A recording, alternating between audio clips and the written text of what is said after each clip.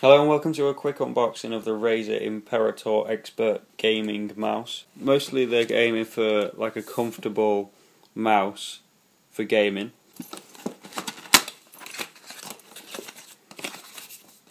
As always, great Razer packaging. There's a tray with the mouse on in a nice lime green.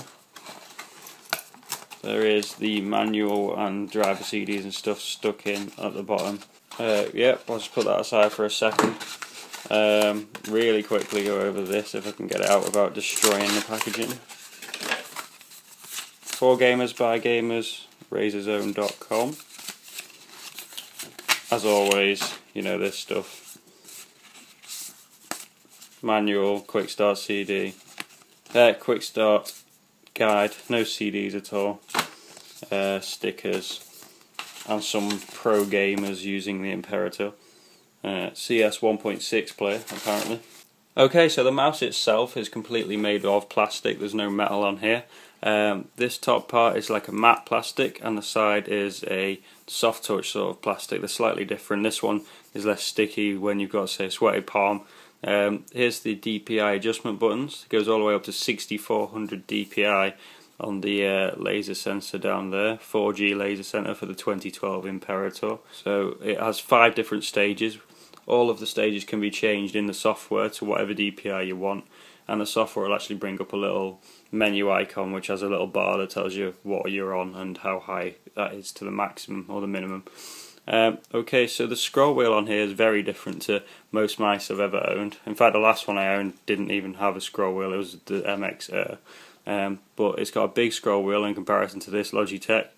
Uh, there's ridges on there for easy grip. It's uh, It feels very mechanical, the click on it, which I really like.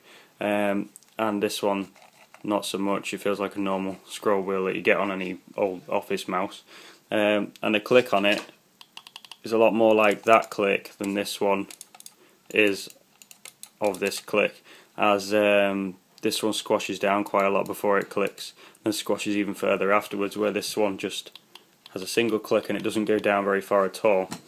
Uh, which I really like. It also sticks up and it's in the perfect position for when you're using the mouse um, to scroll up and down easily. Uh, on the left is these buttons here, forwards and backwards on your browser, um, but they can be set to whatever you want on the Razer um, PC software. Uh, it can be really useful. I know a lot of people that use that as the uh, speak button for TeamSpeak, um, and they can be changed to whatever you want.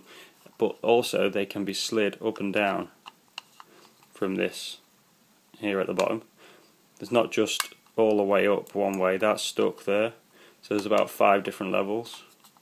Which is great because then it fits your hand nicely and ergonomically as they originally told you on the packaging. Um, the skid plates on the bottom are nice and large. They really do move along a mouse mat especially very easily.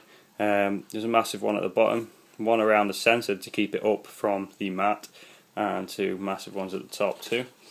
The actual shape of the mouse is not an ambidextrous design, as you can see there. It's quite severely raked to the right, um, but I think that's great for when you're using it if you are right-handed. And yeah, the uh, the mouse is is an ergonomic design, as they say. Uh, it fits really well in the hand. It does cover your whole palm for people that palm the uh, mouse, uh, and it also is quite quite nice for people that use a claw grip as well. Um, the only problem is when you do use a palm grip, sorry to keep turning it upside down, but my, my hand floats over the edge, which is quite a big problem for a lot of people. They won't like that at all. Um, so to be honest, Razer, if you'd made it another centimetre long, a lot more people would be happy palm gripping this mouse.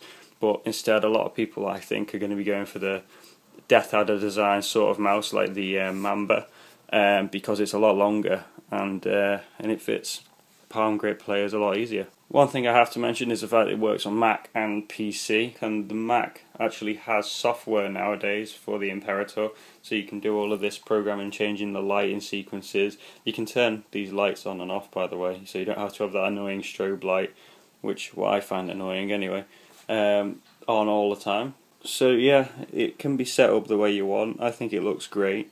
Uh, it's probably one of the best looking mice I've ever seen. Um, and in comparison to most other mice, the uh, sensor on there is far superior. It can track um, plenty of meters a second. I mean, you can't move your mouse fast enough. Um, last thing there really is to mention is the braided cable. It's quite an easy to flex braided cable, unlike the one on the um, Black Widow keyboard. Um, so yeah, it is quite useful. I think it looks great. Finally, on the bottom, this dual sensor system has a laser and an optical sensor. And it's not one of them bright red optical sensors, it is plugged in right now.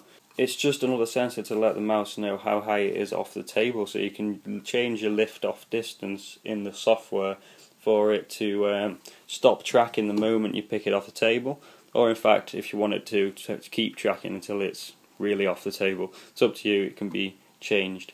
Um, it also allows you to calibrate to the surface of your mouse mat, um, which works really, really badly on this mouse mat as there's two different colours. The same texture but they're different colours. And if you calibrate on the green, it'll only work on the green, and if you calibrate on the black, it'll only work on the black. So, for some odd reason, Razer's decided to design the new Goliathus Extended to have two different colours on with a mice which have surface calibration, which doesn't allow having more than one colour surface. Um, so yeah, you want to turn that off probably if you're using a multicoloured surface. But apart from that, I think everything about this mouse is pretty much perfect. The length is a bit short, uh, the surface calibration is a bit annoying. Um, the lights are only ever blue, you can't change them like you can on the Mamba, but I mean that's probably just a gimmicky premium feature that they put on the Mamba, um, which some people are going to like a lot, I'm sure. But yeah, please subscribe to my channel and uh, also check out my other videos. Thanks a lot.